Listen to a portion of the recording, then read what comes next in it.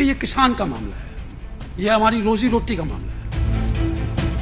उनके नेताओं से, किसानों से मिलूं, बातचीत के माध्यम से हम कोई रास्ता निकाल सके। इस इशू को, पॉलिटिकल इशू तो हमने बनाना ही नहीं। कि मैं जज बाद में था, किसान पहले। किसान वो होता है जो खेती खुद करता है। तीस पैंतीस वर्ष जो भी मैं जज रहा, मैंने एक दिन भी खेती नहीं छोड़ी। तेईस फरवरी से किसान शंभू बॉर्डर पे और खनौरी बॉर्डर पर बैठे हुए हैं। रास्ता भी बंद है।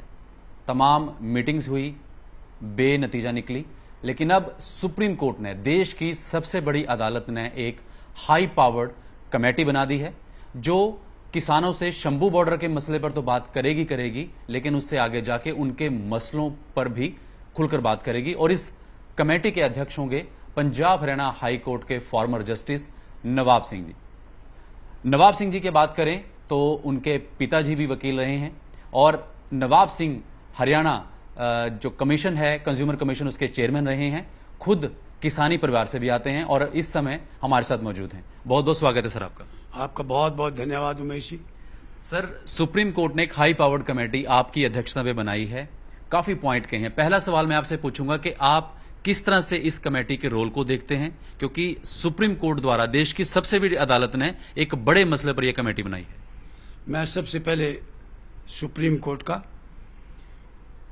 honourable mister justice Suryakant ji का धन्यवाद करता हूँ कि उन्होंने मुझे इस योग्य समझा कि मैं इस इतने बड़े मसले में जो कि सालों से चल रहा है उसका अध्यक्ष मुझे चेयरपर्सन बनाया। आ, सर सुप्रीम कोर्ट के जो ऑर्डर हम देखें जो कमेटी बनाए जाने पर जो मुख्य बिंदु पर उनका रहा उनका कहना है सुप्रीम कोर्ट का कि ये कमेटी उन लोगों का समूह है जो किसानों की जमीनी हकीकत से वाकिफ हैं प्लस दूसरे मुद्दों पर भी बात करने के लिए सक्षम है। यानी कि कहीं ना कहीं बड़ी इसका दायरा बढ़ाया गया है। आप खुद किसानी परिवार से हैं। कब आपको लगा जब आपके पास कंसेंट आई होगी और आपको लगा कि ये कमेटी आपकी अध्यक्षता में है? सबसे पहला काम इस कमेटी का क्या है?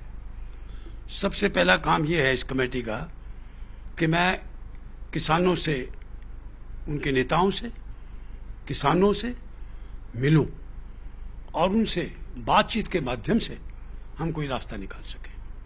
ये सबसे सर्वप्रथम कार्य इस हाई पावर्ड कमेटी का मैं चाहूँगा। इसके अलावा सुप्रीम कोर्ट ने कहा है कि, सर, जो टिप्पणियाँ की अपने ऑर्डर में कि बातचीत का रास्ता है, वही हल है हर समस्या का। आम जन को परेशानी नहीं होनी चाहिए। आपने भी, सर, कई फैसले जब अपने, जब आप हाई कोर्ट में उस बेंच पर बैठा करते थे, आपने हज़ारों केस, लाखों केस निपटाए होंगे, आपकी ज़िंदगी में आए होंगे। आम जन एक बहुत बड़ा शब्द है कि आम जन को परेशानी नहीं है, कोर्ट ने भी कहा है।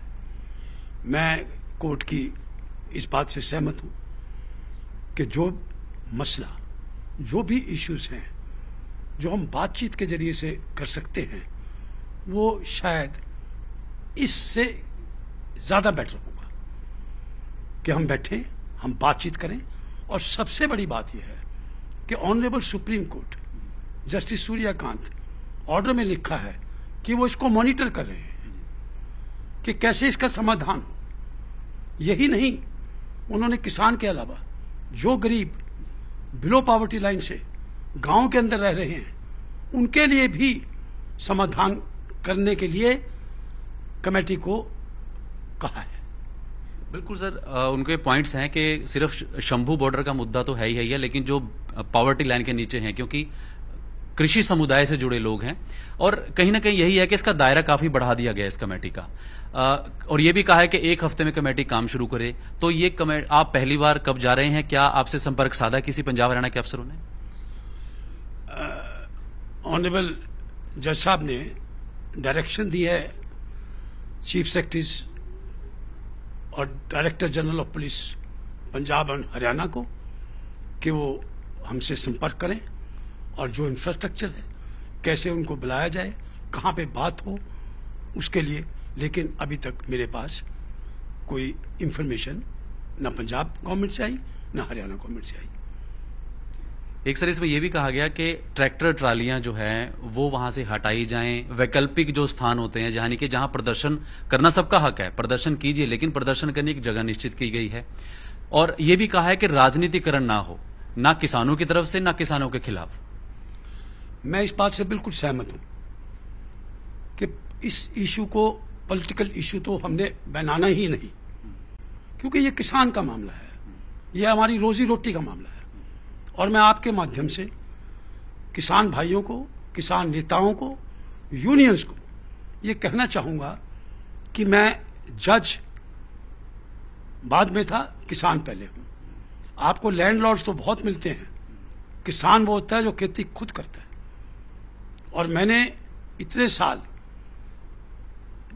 तकरीबन तकरीबन तीस पैंतीस वर्ष जो भी मैं जज रहा मैंने एक दिन भी खेती नहीं छोड़ी। और मेरा गाँव होली है डिस्ट्रिक्ट अंबाला में है।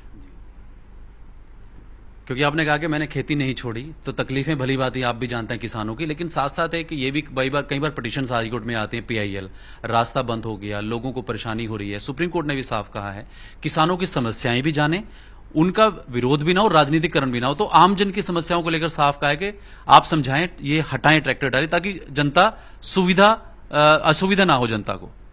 हम बिल्कुल, हम उनसे सहमत हैं। हमारा काम आम जनता को असुविधा देना नहीं है। हमारा काम है बैठ के एमिकेबली सेटलमेंट करें।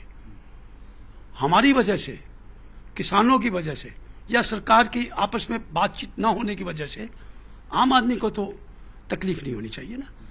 अब मान के चलो अम्बाला से कोई जा रहा है या पटियाला से कोई आ रहे हैं, कोई एम्बुलेंसेज जा रही हैं, कोई बच्चों की बसेज जा रही हैं, उनको तो तकलीफ़ नहीं होनी चाहिए ना। स्वाभाविक है। और मुझे उम्मीद है और विश्वास है भरोसा और यकीन है कि जब हमारी बातचीत होगी बैठकर किसानों के साथ, वो हमसे सहमत होंगे कि एमिकेबली सोल्यूशंस कोई ये ये तो है नहीं कि आज एक सेकंड के अंदर हो जाएगा। जी।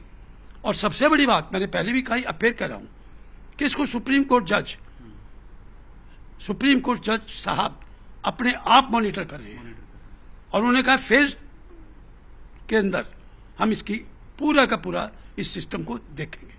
सर ये शंभू बॉर्डर के अलावा जो मसले आपने कहा कि जो पावर्टी लाइन से नीचे हैं या और भी जो मसले हैं आपको लगता है कि ये वो कमेटी है? इसका दायरा काफ़ी बढ़ा दिया गया है। खाली शंभू बॉर्डर तो एक मसला है ही है, है। किसानों की मसलों पर भी आपको कहा है विचार करने के लिए। एक हफ़्ते के अंदर कहा है कि कमेटी काम शुरू करे। तो पहली बात है कि जब आप जाएँगे शंभू पर खुद विज़िट करना पड़ेगा आपको तो आपका अंदर का किसान भी होगा और एक एक जज भी होंगे। सबसे पहले तो जो मैंने सोचा है अभी मेरी बात नहीं हुई किसी से। मैं उन किसान भाइयों को हम मीटिंग करेंगे। उसके बाद हम शंभू जाएँगे। वहाँ पे भी जाके रिक्वेस्ट करेंगे, हम बात करेंगे। बात से समाधान करेंगे। और मुझे आज फिर मैं रिपीट कर रहा हूँ। इसका इसका ज़रूर कोई ना कोई नतीजा निकलेगा। ये मेरी भगवान से प्रार्थना है भाई गुरु जी से ज़रूर निकलेगा। आपको लगता है कि किसान क्योंकि हम भी कल बात कर रहे थे प्रोटेस्ट था चंडीगढ़ में, चाहे उग्राव किसानों की जत्थेबंदी अलग अलग हैं अलग अलग ग्रुप्स हैं। संयुक्त किसान मोर्चा है, फिर अलग अलग उनकी जत्थेबंदियाँ हैं। आपको लगता है कि सभी एक मसले पर आकर इस, उस पर आकर समाधान निकाल पाएँगे? और विश्वास होगा उनको कमेटीज पर? देखो, बेशक डिफरेंट ओपिनियंस हो, लेकिन किसान का जो इशू है, वो सबका एक है। सब यूनियंस का एक है, चाहे वो यूनियन ए हो, चाहे बी हो सी हो। और उनका मकसद सिर्फ़ ये है कि किसान को तकलीफ़ ना हो, जो कि इतनी तकलीफों से निकलता है। आप देखिए, किसान एक ऐसा चीज़ है जिसका 24 घंटे के अंदर कोई टाइम नहीं है काम करने का। आप ऑफ़िस में जाइए, नौ से पाँच। आप कहीं भी जाइए, लेकिन किसान का क्या टाइम है कि बिजली कितने बजे आएगी? सुबह चार बजे। चार बजे किसान कसी लेके खड़ा हुआ कितने घंटे आएगी? आठ घंटे। वो भी सह लिया। उसके बाद बारिश नहीं हुई तब किसान मरा। बारिश ज़्यादा हो गई तब किसान मरा। मैं आपको लेटेस्ट बताता हूँ सेकेंड फरवरी 2024 को इतनी ज़बरदस्त बारिश आई कि शाहबाद से लेकर या माले ज़िले का कुछ पार्ट और करनाल तक सड़क के ऊपर बर्फ़ ही बर्फ़ थी। और उससे आप हैरान होंगे सुनकर। कितने लाखों रुपए का नुकसान आलू की फ़सल को हुआ ये मैं जानता हूँ क्योंकि मैं भुगत भोगी हूँ। क्योंकि मैं उसमें भुगत भोगी हूँ। हमें मालूम है कि कितना नुकसान हुआ उस फ़सल की वजह से। आज जैसे बर्निंग इश्यूज़ है स्टोर बर्निंग इश्यूज़ है हमने हम टेबल पे बात नहीं करना चाहते। हम करना चाहते हैं असलियत क्या है? मुद्दा क्या है? ये कह दिया जी वो कह दिया जी, ऐसी नहीं बात बनेगी हज़ार रुपए दे दो जी किसान को। अरे, किस हज़ार दो दो हज़ार दो, हमने किसान की बढ़ोतरी के लिए काम करना है। कैसे करना है? यही सुप्रीम कोर्ट ने अपने ऑर्डर में लिखा है कि हर एक आदमी के लिए ये कमेटी हाई पावर्ड बनाई जा रही, जिसमें हर आदमी का इंटरेस्ट होगा। मजदूर का, गरीब का, जो गाँव के अंदर रह रहे हैं, बिलो पावर्टी लाइन, सबका होगा। यही नहीं व्यापारी का। व्यापारी का कैसे? फ़र्ज़ को आपके, हमने जाम कर दिया सारा कुछ। व्यापारी कहाँ जाएगा? हमने उसका भी देखना है उन्होंने कहा कि हर स्टेक होल्डर्स को हमने मद्देनजर रखकर तब ये इस कमेटी हाई पावर्ड कमेटी ने, और पहले इश्यूज़ बनाएँगे हम। क्या करना है? वो इश्यूज़ भी सुप्रीम कोर्ट चेक करेगी, देखेगी। उसके बाद क्या होगा?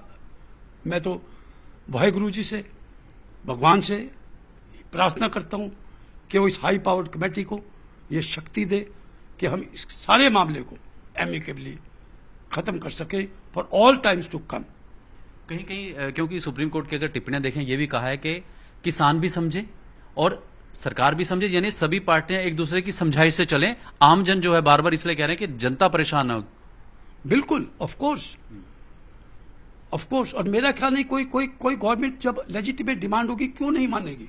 शुड बी और सुप्रीम कोर्ट ने यह भी कहा वहाँ union of India was the party was represented by the solicitor general कि क्या करना है? लेकिन हम ये कहें आपसे माध्यम से कि हम तो आज ही खत्म कर देंगे। नहीं सॉरी इसमें समय लगेगा मतलब? ऑफ़ कोर्स ऑफ़ कोर्स ताकि सभी की बात सुनी जाए। बिल्कुल। और एक ऐसी बात हो जो दोनों पक्ष के लिए सब दोनों क्या सारी सारे जमहूरियत के लिए। For all not for one section जो गरीब है गाँव में रह रहे हैं उनका भी उन्होंने लिखा जाके। वो तो इसमें इशू नहीं था। लेकिन ऑनरेबल लॉर्डशिप ने और सुप्रीम कोर्ट ने लिखा है उसके अंदर ऑर्डर किया और मैं जो कमेटी बनी है मेंबर्स की उसमें वाइस चांसलर्स हैं। अर्थशास्त्री हैं कृषि अर्थशास्त्री हैं श्री देवेंद्र शर्मा जी हैं। Vice chancellor agriculture university Hisar हैं अमृतसर के हैं लुधियाना यूनिवर्सिटी के हैं। बहुत अच्छा है। एक एक लास्ट सवाल सर कि वही बात है कि किसानों की जथेबंदी है और अलग अलग है। आपको लगता है कि जब ये कमेटी है आपकी किसानों से बातचीत करेगी कहीं ना कहीं ये ध्यान रखा जाएगा कि सभी किसानों की सभी जथेबंदियाँ हों क्योंकि अगर दो चार हैं या संयुक्त किसान मोर्चे में जो नहीं है कोई अलग है क्योंकि शंभू बॉर्डर पे कुछ लोग जथेबंदियाँ हैं वो अलग हैं पंजाब हरियाणा में अलग हैं। मैं तो आपके माध्यम से वैसे तो मैं किस किस को नोटिस दूँगा? कि जिस भाई को जिस भी यूनियन को मुझसे बात करनी हो मैं उनके लिए हर वक्त तैयार हूँगा उनकी बात सुनने के लिए और उनकी हर बात को मद्देनजर रखकर हम इसके ऊपर सोच विचार कर कर करेंगे। हर को। वो हरियाणा पंजाब नहीं चाहे मेरी तरफ़ से उत्तर प्रदेश का भी किसान आए। कोई वहाँ का किसान नेता आएगा most welcome. I would love it. वो हमें बल्कि मार्गदर्शन करें। चाहे वो पंजाब के हों या हरियाणा के जथेदार ये यूनियंस हो। हमें मार्गदर्शन दे। हम तो उनसे भी मार्गदर्शन लेने के लिए तैयार हैं। और क्यों ना हो? वो भी हमें बहुत कुछ ज्ञान देंगे। सभी स्टेक होल्डर्स हैं सभी। एक सर ये भी कहा गया कि जो कमेटी की सिफारिश होगी क्योंकि सुप्रीम कोर्ट मॉनिटर कर रहा है तो वो मान्य होती है सभी पे क्योंकि सुप्रीम कोर्ट ने कहा है। तो ये भी एक आता है कि जब इस एक फाइनल पॉइंट पे आप पहुँचेंगे तो किसान जत्थेबंदियों की हाँ और वो मानने के लिए उस पर तैयार होंगे कि ठीक है जी अब हम तैयार हैं। होना चाहिए। क्यों नहीं तैयार होंगे? कौन तैयार होंगे? किसान। होंगे क्यों नहीं? जब हम सारी बातों का समाधान करेंगे तो क्यों नहीं होंगे? और नहीं होगा हम तो कमेटी रिपोर्ट देगी। कि ऐसे ऐसे ऐसे ऐसे ऐसे किया जाए? और ये ये ये चीज़ें किसान के हक में है। क्योंकि वो तो एमएसपी किसान गारंटी कानून तमाम चीज़ें। वो तो एक सभी लेंगे हम। इसका इसका दायरा ही इतना बड़ा बनाया ऑनरेबल सुप्रीम कोर्ट ने। सब कुछ करेंगे। और क्यों ना करें? मुझे बताओ। सब कुछ करेंगे। क्या अपील करना चाहेंगे आप न्यूज़ एटीन के माध्यम से किसानों के लिए या जो स्टेक होल्डर्स हैं सभी आम जो गरीबी रेखा से लोग देख रहे हैं क्या अपील करना चाहेंगे? मैं तो यह अपील करना चाहूँगा किसान यूनियन को कि आइए बैठिए और बैठकर बातचीत कर कर हम इसका समाधान निकालें। मैं तो ये अपील करूँगा। किसान यूनियंस के नेताओं से भी और मैं शंभू भी जाऊँगा। और वहाँ भी हर किसान को ये कहूँगा कि जिसने जो क्वेश्चन करना हो, मैं उसका जवाब देने के लिए तैयार हूँ। लेकिन प्यार से, इज़्ज़त से, शांति से कोई शांतिपूर्ण जो काम हम कर सकते हैं, वो शायद लड़ाई झगड़े से नहीं कर सकते। ये मेरी सोच है। यही मेरा उनसे होगा। और उनकी बात मानेंगे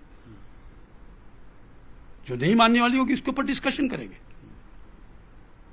और क्यों नहीं मानेंगे? हमें नहीं मालूम कि क्या ज़रूरत है किसान को। मैं बताऊँगा कि मेरे को बताओ मेरे से क्वेश्चन करो आप। आप कहूँगा मैं कहूँगा आप अध्यक्ष बनो और मैं आज किसान आपको जवाब देता हूँ। आप डिटेल में बात करेंगे बिल्कुल। हमारे भाई हैं। मुझसे ज़्यादा कौन जानेगा उनको? और मैं कहूँगा आप, आपके माध्यम से हर किसान नेता पंजाब हरियाणा का मुझे ए बी सी यूनियन से नहीं है। सब यूनियन मेरे लिए बराबर है। सब नेता मेरे लिए बराबर है। मेरे लिए तो एक छोटा किसान, जो किसान है वो सब बराबर है। और हर किसान को अपनी बात कहने का मेरे पास आके अधिकार होगा। मेरे टेलीफोन नंबर, मेरा एड्रेस मेरा घर अंबाले है। अंबाले आना हो, अंबाले आओ। चंडीगढ़ आना हो, चंडीगढ़ आना हो। जो भी हो नो प्रॉब्लम बहुत बहुत शुक्रिया सर बात करने के। आपका बहुत बहुत धन्यवाद Umesh ji. Thank you sir and thank you very much तो ये थे फॉर्मर जस्टिस नवाब सिंह जिनकी अध्यक्षता में सुप्रीम कोर्ट ने कमेटी बनाई और न्यूज़ एटीन पर बोले खुलकर अपनी बात रखी कि सभी किसान जथेबंदियाँ आए मिलजुल कर इस मसले का हल करें क्योंकि इस कमेटी की जो रेंज है सुप्रीम कोर्ट ने एक बड़ा दायरा बनाया है। गरीबी रेखा से नीचे रहने वाले किसान की बात हो व्यापारी वर्ग की बात हो आम जन की बात हो रास्ता भी नहीं रुकना चाहिए। लेकिन सबसे बड़ा मसला है कि हल जो है वो इस कमेटी के माध्यम से निकले, किसानों को अपील की है फॉर्मर जस्टिस नवाब सिंह जी ने।